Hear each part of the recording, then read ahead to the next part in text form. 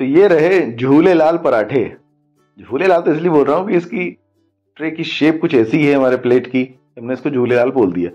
हालाँकि इसमें है कुछ अलग कि मूली आप जब भी लाएँगे ना तो मूली के पत्तों को आप फेंक देते होंगे। तो आज वीडियो देखने के बाद कभी भी आप मूली के पत्तों को नहीं फेंकेंगे। उनसे हम बनाएँगे इतने सॉफ्ट सॉफ्ट पराठे। तो चलिए बता देता हूँ। तो हम लाए मूली तो मूली तो हमने इस्तेमाल कर ली और मूली के पत्ते बचा लिए और इससे बनाएँगे सुपर सॉफ्ट टेस्टी पराठे जो पेट के लिए बहुत अच्छे होते हैं। पेट में किसी भी प्रकार की गड़बड़ी है तो मूली के पत्ते के पराठे बहुत फ़ायदेमंद होते हैं। तो नीचे के मोटे वाले डंठल यहाँ पर हमको काट के फेंक देना है।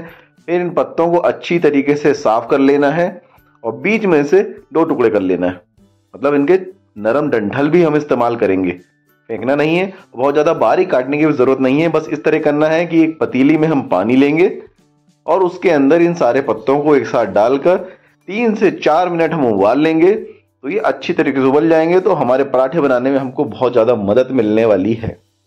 ये देखिए, तीन से चार मिनट में अच्छी तरीके से पक जाएँगे, और इनका कलर इसी तरीके से हरा बना रहे, काला ना पड़े, उसके लिए ये करना है।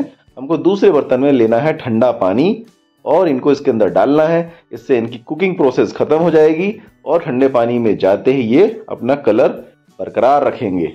तो उसके बाद हमें बनाना है इनका पेस्ट जैसे ये ठंडे हो जाएँगे ना, बेहतरीन पेस्ट बनाना है।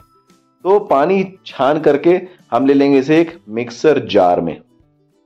और इसके स्वाद को बढ़ाने के लिए कुछ चीज़ें, जैसे कि यहाँ पर थोड़ी सी लहसन थोड़ी सी अदरक, और ये धनिया पत्ती। धनिया पत्ती अगर देसी वाली हो ना, बहुत बेहतर स्वाद आएगा। और इसे हम पेस्ट बना लेते हैं एक। और ये देखिए, कितना बढ़िया हमारा कलर एकदम हरा बना हुआ है। बस तो पराठे भी उतने अच्छे देखने में लगेंगे खाने में भी। तो यहाँ पर एक बाउल में ले रहे हैं गेहूँ का आटा। दो कप दो कप, वज़न से कहते तो लगभग होंगे 300 ग्राम। तो यहाँ पे इनसे हम चार से पाँच लोगों के लिए पराठे आसानी से बना लेंगे। यहाँ पे मिला दिया है आधा चम्मच गरम मसाला, एक चम्मच नमक और एक छोटे चम्मच धनिया पाउडर, आधा चम्मच हल्दी पाउडर, आधा चम्मच लाल मिर्च पाउडर और क्या बस ये हमारा पेस्ट और यहाँ पर भी पानी वगैरह कुछ नहीं डालेंगे हम। देखिए, इसके अंदर इतना मॉइस्चर है, क्योंकि जो हमने पत्ते थे, उनको निकाला तो उसको पीसा, उसके अंदर काफ़ी पानी था। तो अब भी पानी बिल्कुल भी नहीं मिलाना है। इस तरीके से अच्छे से मिक्स करना है। और देखिएगा, बिना पानी मिलाए ही जो हमारे पेस्ट का जो मॉइस्चर था, उसके अंदर जितनी पानी था, जो नमी थी, उससे ही हमारा एकदम सुपर सॉफ्ट डो बनकर होगा तैयार। कुछ देर गूंदने के बाद में देखिए बिना पानी मिलाए एकदम परफेक्ट आटा हमारा लग चुका है। बस, यही तो चाहिए था हमको। अब इसे हम 10 से 15 मिनट के लिए ढक के रख देंगे। उसके बाद ये अच्छी तरीके से फूल जाएगा तो फिर से इसे एडजस्ट कर लेंगे हाथों से हम ऐसे। और फिर क्या, जिस साइज़ का, जिस शेप का आपको चाहिए, उस हिसाब से लेना है। तो यहाँ पर हम ले रहे हैं छोटा सा पेड़ा। एक आपको बेल करके दिखाते हैं कितनी आसानी से ये बिल जाएगा, क्योंकि इतना नरम है, इतना बढ़िया है, इतना परफेक्ट है।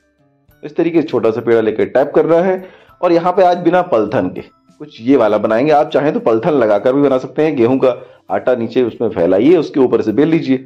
पर हम बनाने वाले हैं इसे एकदम सुपर सॉफ्ट कुछ अलग तरीके से। तो दोनों तरफ़ से हल्का हल्का तेल लगा लिया है और इस तरीके से बेल लेना है।